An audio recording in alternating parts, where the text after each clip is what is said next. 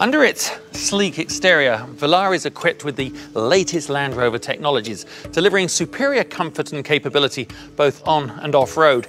The all-new Touch Pro Duo interface, part of Land Rover InControl Technologies, really delivers flexibility and customization to you as the driver. The two 10-inch high-resolution touchscreens allow a well-integrated media experience.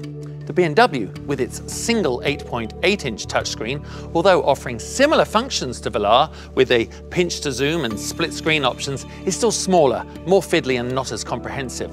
Many of the Porsche's infotainment and map functionality is controlled by a combination of touchscreen, hard buttons and rotary dials, somewhat counterintuitive when compared with Velar.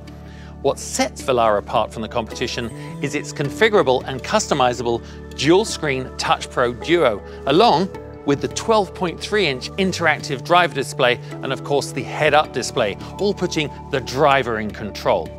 The capacitive steering wheel controls have those hidden until lit switches.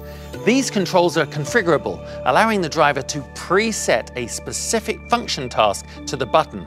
This comprehensive suite of innovative features really offer the customer assistance and peace of mind. They're designed to work unobtrusively in the background, avoiding information overload.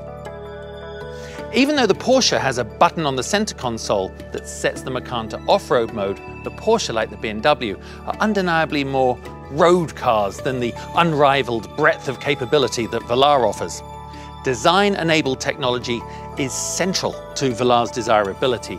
From its Touch Pro Duo to its flush deployable door handles, Velar is a Land Rover at heart.